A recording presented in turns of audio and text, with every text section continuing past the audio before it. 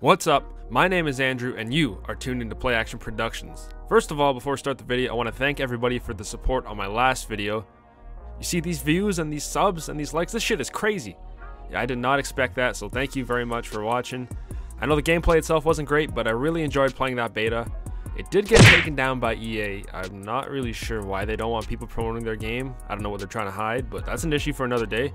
But when UFC 4 comes out in August, I will definitely be bringing a bunch of series to the channel. So stay tuned for that one. Hopefully you'll stick around with me for some cool UFC 3 content. Speaking of series, today, right now, you're watching episode 1 of something new to the channel I'm calling UFS Ultimate Fighting Simulation. Yeah, I know, I'm creative as hell. Alright, relax. The basis of this series is that we're going to take an upcoming title fight, main event, or just hell of a scrap, simulate the fight on UFC 3 10 times to try, keyword try, to get the average results and hopefully see if the video game can shed some light on what might actually happen during the fight. Now, we all know how amazing the AI is in the game, so let me start this shit off by saying I'm not going to make you sit through 10 AI vs AI fights. Hey, nobody want that. I'll show some highlights, build the data into some charts, and we can discuss it after. You know, I created this channel so I could have a place to discuss my love for MMA with other fans, so please comment away before, during, after the video. Tell your friends, tell your parents, tell your grandparents, doesn't matter, let's just get some good discussions going. For this video, we'll be looking at the flyweight title rematch, Deiveson Figueiredo vs Joseph Benavidez 2.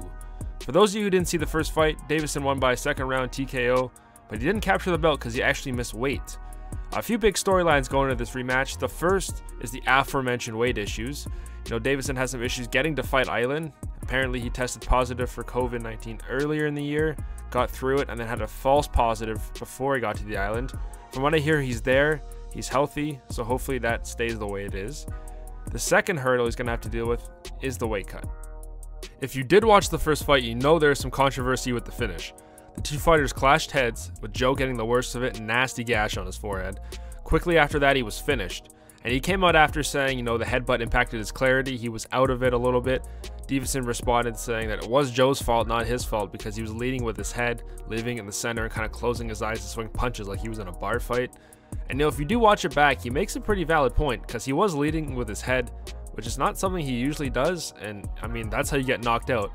You know, the headbutt, I'm sure it did have an impact, but uh, I guess that's why they're having a rematch.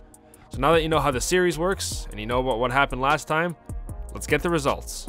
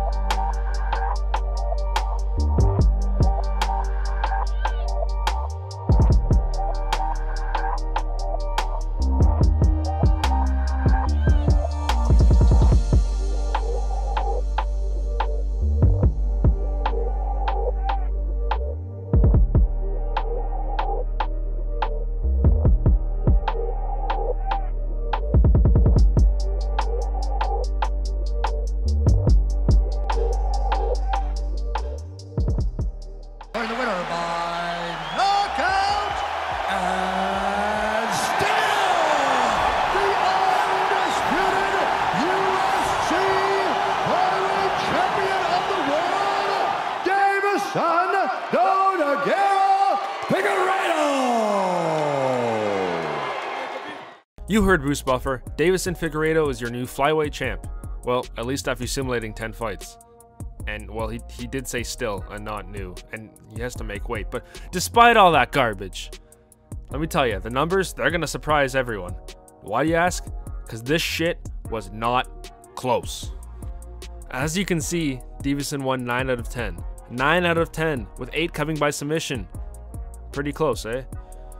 If you've seen the first fight, you remember that he had Joe in an armbar in the first round and almost got him out of there. If it wasn't for that crazy flip spin that Joe did, it honestly made the arm look broken, like they allude in the broadcast. He would have been out. But he did struggle landing the takedowns, so if you base it off the first fight and that sim, there's a pretty clear path to victory here for Figueiredo. Now, after sitting through all 10 fights and getting past all those wonderful moments of both guys literally just standing there, it was easy to see the trends. Now obviously I know this is a video game and specific fighters slash characters are programmed to do specific things, but almost every fight went the same. Joe would start the fight by putting in the work on the feet, rocking Deiveson multiple times with a great mix of punches and kicks. Deiveson would go for a takedown, but don't go to twisted. Deiveson, he landed some good strikes too, but it was Joe's world on the feet, and it seemed though Joe would tire out, usually, I don't know, near the end of the first round. He would shoot for a lazy takedown and instantly get submitted. As you can see by these stats here, it's night and day. I just want to make this very clear. I don't think any, no, none of the fights actually went to decision. Only two of them went to a fourth or a fifth round. Most of them were first or second round finishes. So these guys are pumping volume. It may not seem like that over five rounds, but one to two rounds, they're pumping volume. One guy's clearly great on the feet, one guy's clearly better on the ground. And yes, like I said, they're programmed to fight the way their strengths are. But the difference was so significant. You know, it seemed like anything Joe was throwing was landing clean and really affecting Davidson significantly enough that he'd have to shoot for a takedown. On the other hand, Joe was taking punches a lot better. But again, as soon as he went for that lazy, I'm tired takedown, instantly choked out, instantly armbar. Armbar was a favorite one, I'll tell you that for sure. So based on 10 simulations, AI versus AI on UFC 3, the game predicts Deiveson Figueiredo will become the new flyweight champion of the world, weight pending, over Joseph Benavidez by submission. What do I think? I don't know. I, I really enjoyed the first fight. I mean, the first round of it before that clash of heads. I thought they were pretty good competitors. They're relatively even. I think it's going to be a great fight this time around. I have. It pains me to do this to Joey B, but I, th I think Davidson's to win. I think he's to knock him out again. I don't know, man. I think I think Benavidez just might be in that cowboy range of one of the best fighters to ever fight without winning the title. I think if Figueiredo can make the weight healthy and can do it without you know depriving himself too bad, I think he's he's a tough matchup for anybody. I mean, he'd be a good fight with Cejudo. So who knows what would happen? That's my prediction. I want to know what you think. So leave a comment down below. I want to know a bunch of things. Let me know who you think is going to win the fight. Let me know if you enjoyed this style of video.